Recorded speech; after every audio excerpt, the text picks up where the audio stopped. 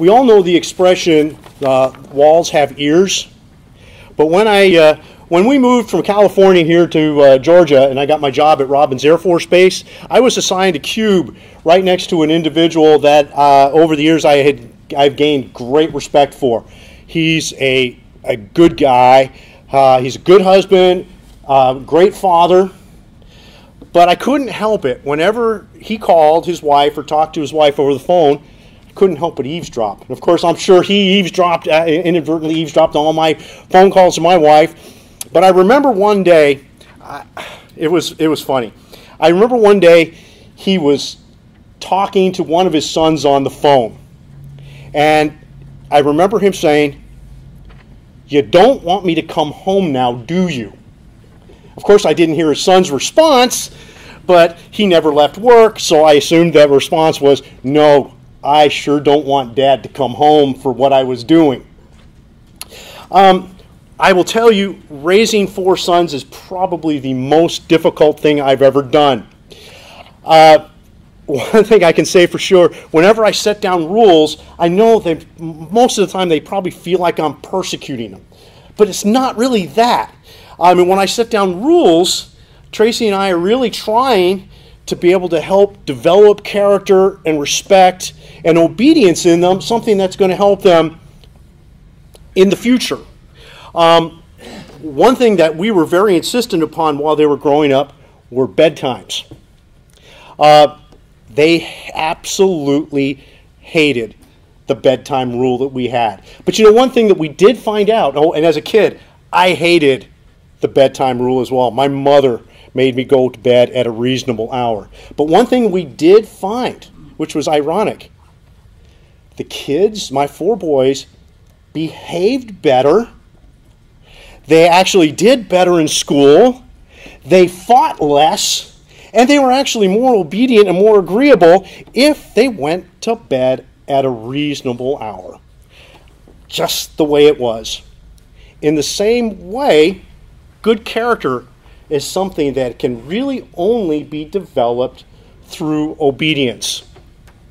Now, this week, while I was reading the book of Mark, I was moved by something that I've read it a million times, but I was moved by some unexpected, uh, by some unexpected uh, examples of obedience. So today, um, I'd just like to go through some of these examples that I ran to uh, that I ran into. I mean, they're probably not going to be profound, but for me they were, and I would just like to share them to you. I mean, they would be profound. Actually, for me, they were profound examples of obedience, of surprising examples of obedience to Christ and God. So, anyway, the first example. The first example. So, if you'd like to, please join with me and turn to Mark chapter 4. Mark chapter 4. And uh, we're going to start reading in verse 35. Mark chapter 4 and in verse 35. And on that day, when evening had come, he, Christ, said to them, Let us cross over to the other side.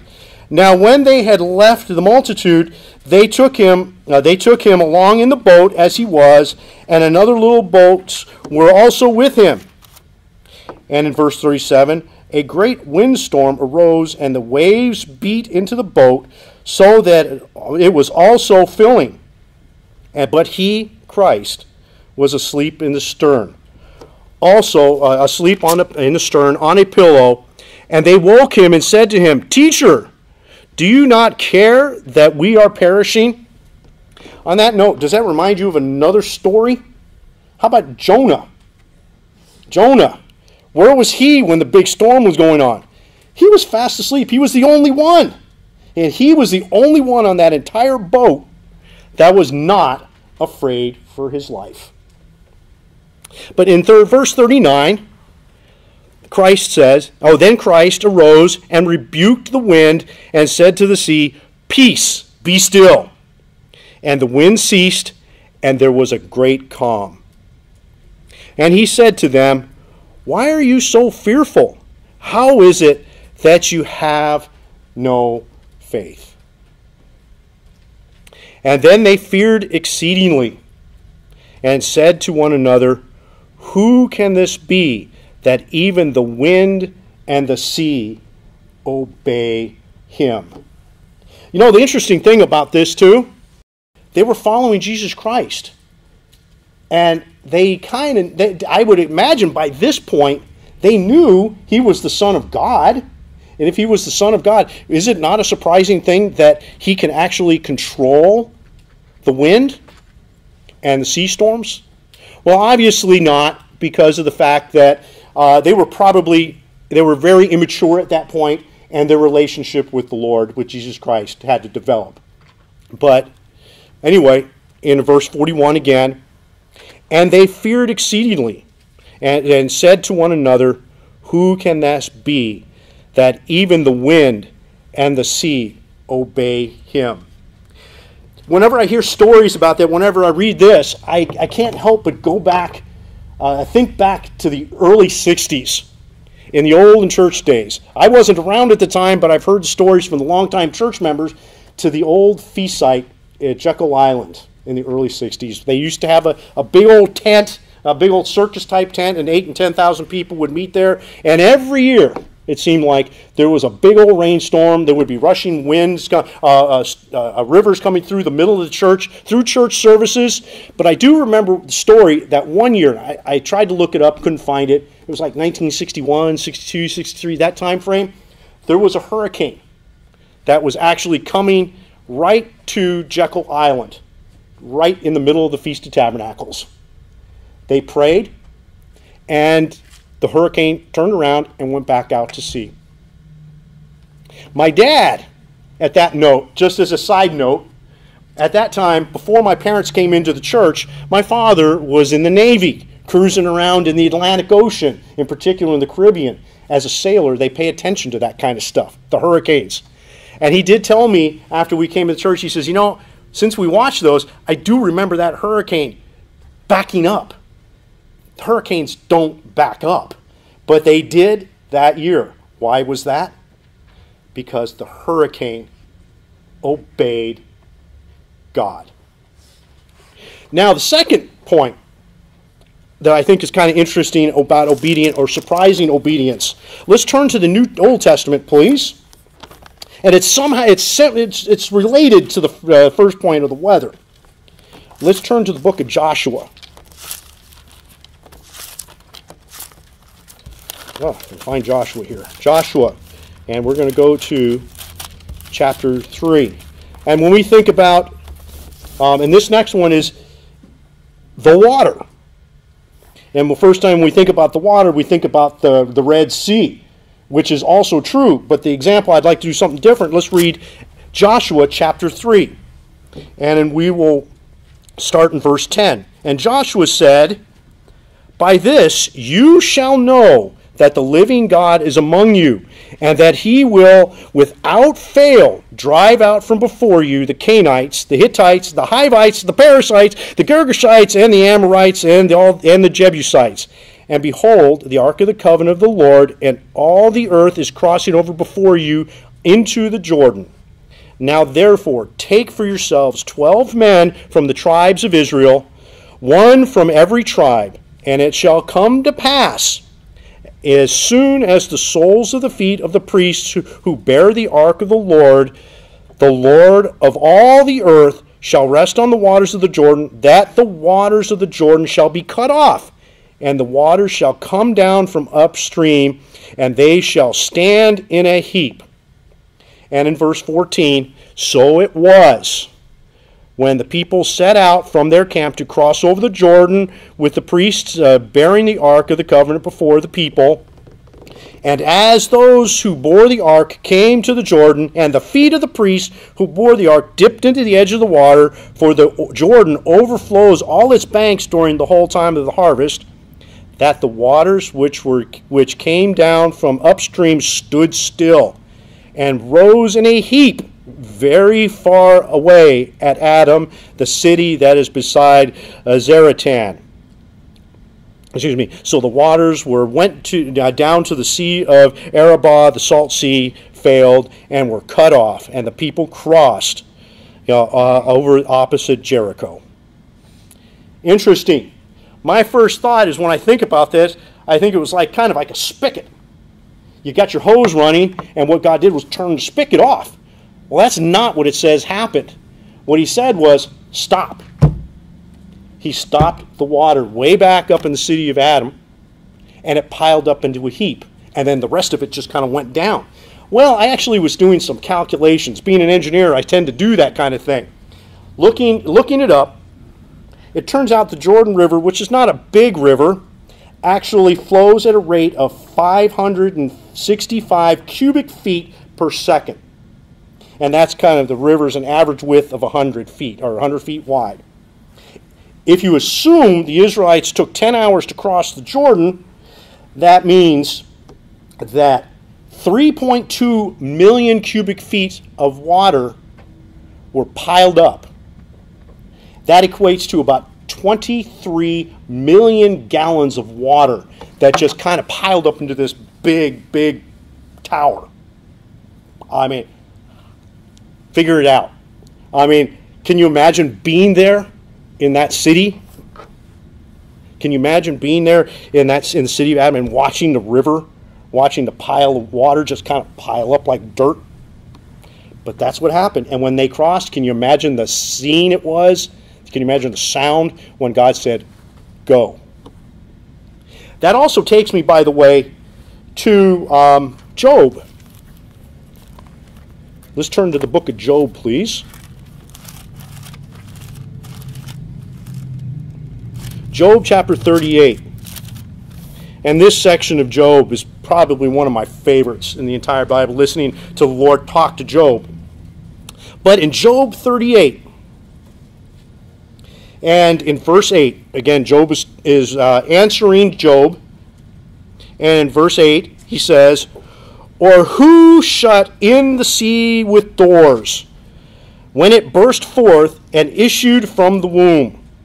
When I came to the clouds, its gar- uh, when I made the clouds its garment, and the thick darkness its swaddling band.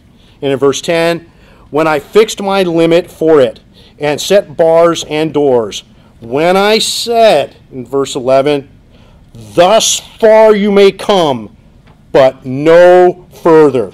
Job 38, verse 11. And here your proud waves must stop. Do you remember that video we saw a couple weeks ago from um, the, the Good Works program? They were talking about uh, the Mr. and Mrs. Van Ostel went to uh, the Bahamas after the hurricane. Tracy and I were talking about that. There was one thing that jumped out at me that reminded me of this scripture.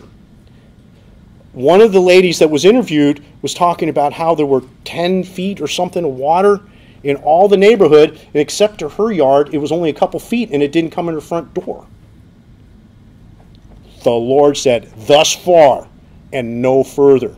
There was another older couple that uh, Tracy brought up. They were laying in bed throughout the entire hurricane and did not get wet. thus far and no farther. So who obeyed? The water. You know, and there's another one. And again, this one's a very popular story. I'd like to go to this story as well. And the book of Daniel.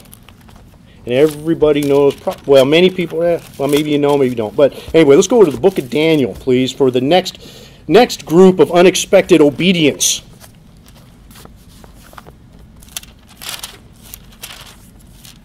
Daniel chapter 6. Very famous story of Daniel in the lion's den. Animals, all animals obey the Lord. Now, I will tell you, as a, just a side note before we read the story, when I go hunting, one thing that I am afraid of I'm afraid of getting attacked by the pigs because I have pigs on my property. I don't want to get attacked by pigs. But you know what? The pigs will only attack me if the Lord allows it. But anyway, let's read the story. Let's not we're not here to talk about me. But Daniel chapter 6 and in verse 15.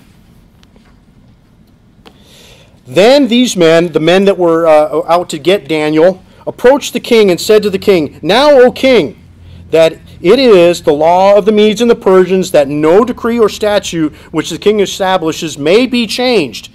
So the king gave the command, and they brought Daniel and cast him into the den of lions. But the king spoke, saying to Daniel, Your God, whom you serve or are obedient to continually, he will deliver you. Then stone was brought and laid on the mouth of the den, and the king sealed it with his own signet ring and with the signet ring uh, signets of the Lord, that the, pers- uh, the purpose concerning Daniel might not be changed. But in verse 18, now the king, he had he was feeling bad about this one, but now the king went to his palace and spent the night fasting. And no musicians were brought before him, and, and his sleep went from him. He spent all night not sleeping. He was worried about his friend Daniel.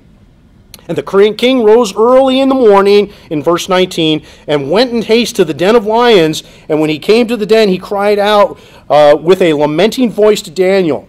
The king uh, spoke, saying to Daniel, Daniel, servant of the living God, has your God, whom you serve continually, been able to deliver you from the lions? And, the Daniel, and Daniel said to the king, O king, live forever. Verse 22 My God sent his angels and shut the lion's mouth, so that they have not hurt me, because I have found I was found innocent before him, and also, O king, I have done no wrong before you. Who obeyed? The lions. The lions. And in verse 23, the ending of this interesting story, and in verse 23, now the king was exceedingly glad for him and commanded that they should take Daniel out of the den. So Daniel was taken out of the den, and no injury before him was found on him because he believed in his God.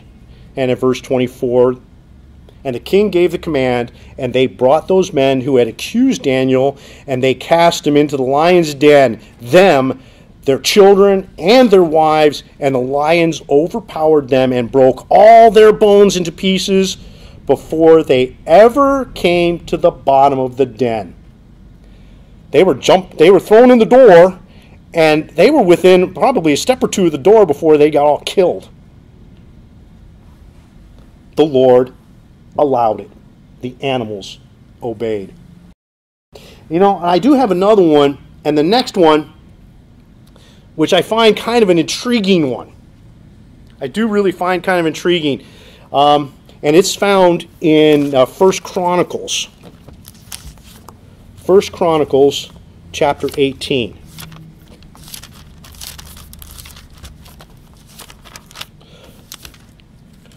First Chronicles chapter 18. So what else is surprisingly obeys God? All the spirits. All the spirits obey the Lord. First Chronicles chapter 18.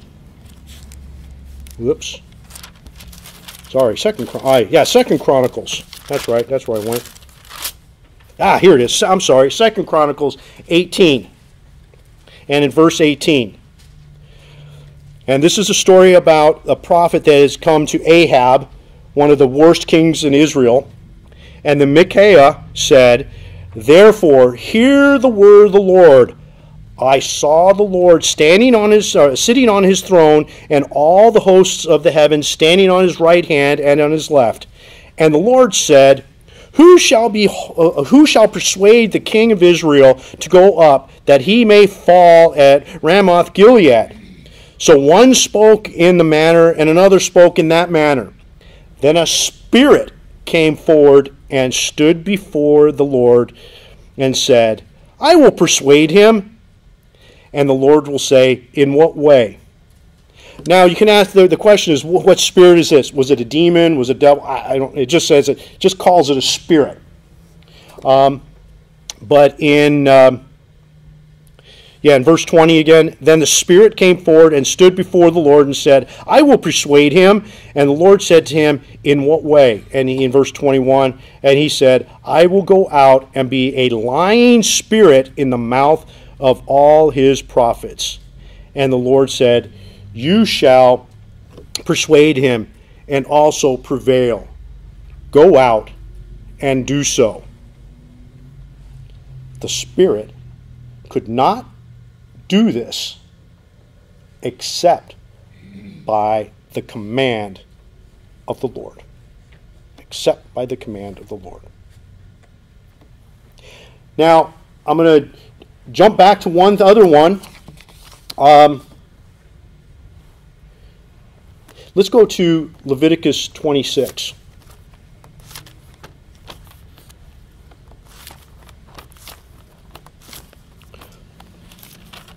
What else obeys the Lord? It's similar to the weather, but the rain.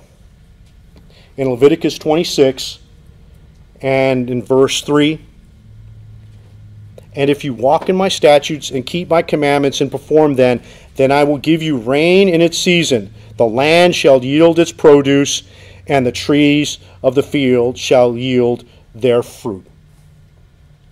Now, you know, an interesting thing is, I mean, I saw a documentary a couple years back about Greenland, and they were whining and compl- they were complaining about global warming and how global warming, all the glaciers in Greenland are melting. I beg to differ.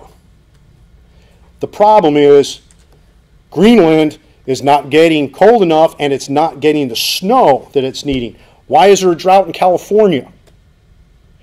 California gets most of its water from the Sierras, the snow in the Sierras. They're not getting, okay, so it's frozen rain. They are not getting the rain in due season. Why is that? Verse 3 and 4 because of disobedience, and it's at the command of the Lord. Now, I, had, I, I, would be remiss not to quote another scripture in that vein. If we just jump over to the book of Amos, please.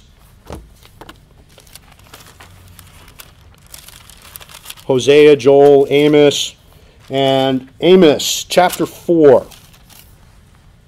Amos chapter 4, and in verse 7. I also withheld rain from you when there were still three months to the harvest, I made rain on one city, and I withheld rain from another city. One part was rained upon, and where it did not rain, the part withered. So two or three cities wandered, you know, uh, wandered to another city to drink water, but they were not satisfied. Yet you have not returned to me, says the Lord. The rain follows the command of the Lord.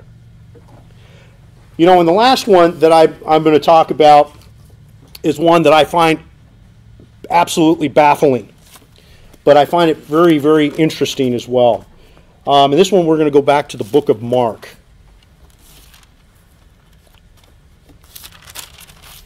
Mark, we can start like in Mark. We can start in Mark verse uh, um, Mark one.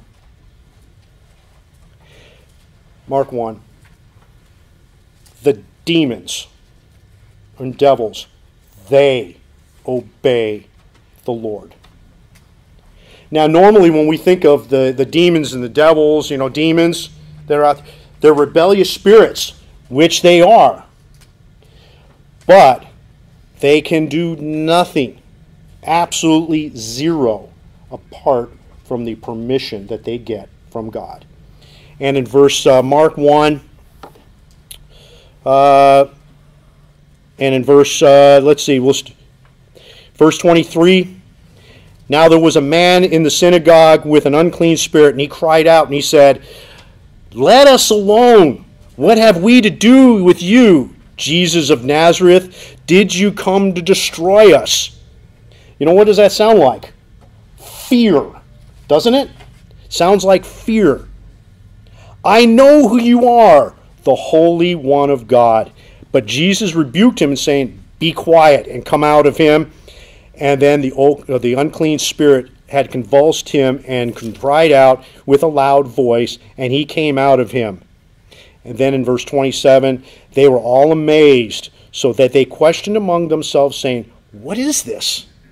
What new doctrine is this?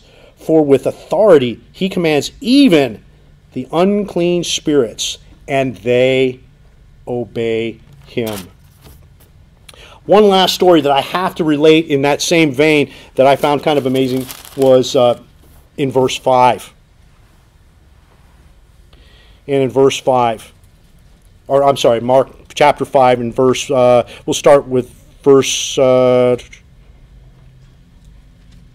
yeah, in verse 5. Uh, verse 4, excuse me. Now let's start with 1. Yeah, man, yeah, Mark 5 and verse 1. Then they came to the other side of the sea, to the country of the uh, Gadarenes. And when he came out of the boat, immediately there, there met him out of the tombs a man with an unclean spirit, and had his dwelling among the tombs, and no one could bind him, not even the chains, not even with chains in verse 4 because he had often been bound with shackles and chains, and the chains had been pulled uh, apart by him, and the shackles broken into pieces. Neither could anyone tame him. And always, night and day, he came into the mountains, into the tombs, crying out and cutting himself with stones. But when he saw Jesus from afar off, he ran and worshipped him. The demons, the demon worshipped him. And he cried out with a loud voice and he said, What, I ha- what do I have to do with you, Jesus, Son of the Most High? I implore you by God that you do not torment me. Again, what does that sound like? Fear. He was afraid of him. And he, Christ, said to him, Come out of the man, unclean spirit. And he said to him, the unclean spirit, or in Christ said to him, What is your name? And he answered him, saying, My name is Legion, for we are many. And he, the unclean spirits, begged him earnestly that he would not send him out of the country. Now there was a large herd of swine was feeding there nearby the mountains. So the demons again begged. And so this begging is I've had my sons do that please, I want to, can we stay up late to watch the show? Or can I, uh, you know, kids, all, you know, they always do it. We always do that. They're always, they're, they were asking for permission. Um, we know, and then we'll jump down to, um, yeah, and so then the demons begged him, "Send us into the swine, that we may, that they that we may enter them." And at once Jesus gave them permission, and the unclean spirits went out and entered the swine. There were about two thousand, and the herd ran violently down to the steep place into the sea and drowned in the sea. To me, those things are interesting stories. But what does this all mean? Very simple everything. There is not one thing that is not under the control of God. Nothing happens unless it has His approval. Let's turn to, um, on that, let's turn to, uh, let's turn to Lamentations, please. Lamentations is actually a very interesting book. Lamentations in chapter 3 and in verse 23. They are new. Uh, they're, um, that 3 in verse. Yeah, did I get that right? Um, oh, 37, excuse me. Lamentations 3 and verse 37, excuse me. Who is he who speaks and it comes to pass when the Lord has not commanded it? Isn't it not from the, the mouth of the Most High that woe and well being proceed? Why should a living man complain? A man for the punishment of his sins? So, what is that saying? That's saying everything, good and bad, comes from the Lord because he allows it. Now, the million dollar question here is this if the weather, the water, the rain, demons obey the Lord, then why do we have such a difficult time obeying the Lord as well? We do have a difficult time, at least I do, doing what I'm supposed to be doing. It's fairly simple. We have a difficult time because we have lots and lots to learn. Matthew, uh, Hebrews 5. Hebrews 5 and verse 8. Hebrews 5 and in verse 8. Though he, Christ, was a son, yet he learned obedience by the things he suffered. Now, in my opinion, there's something absolutely even more amazing in all of this. And that is the one who controls everything and the one who has everything, who, who demands obedience from everything, has taken very personal spiritual interest in my spiritual, in your spiritual development. It's amazing. It's sobering, isn't it? And let's end up by going to Ezekiel, please. One last scripture. Ezekiel, Ezekiel 37.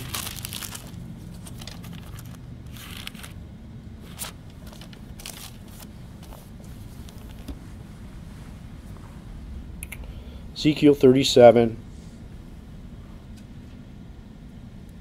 And in verse 21, Then I say to them, Thus says the Lord, the Lord God, Surely I will take my children of Israel from among the nations, wherever they have gone, and will gather them from every side and bring them into their own land.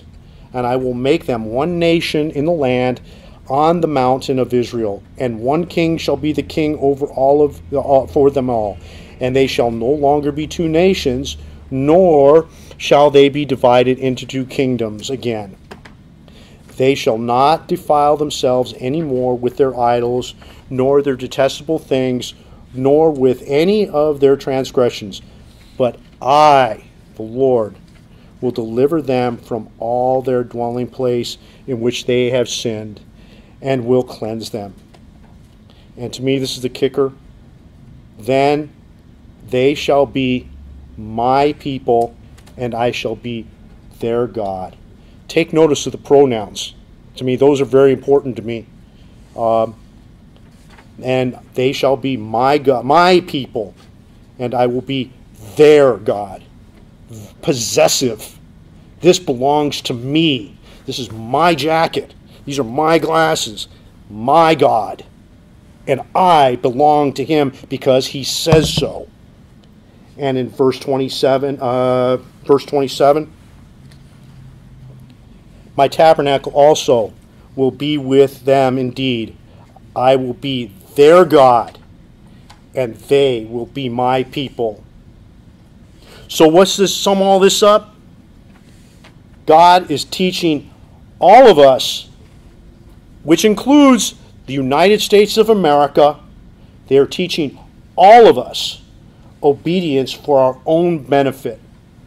He wants to be our God and he wants us to be his people.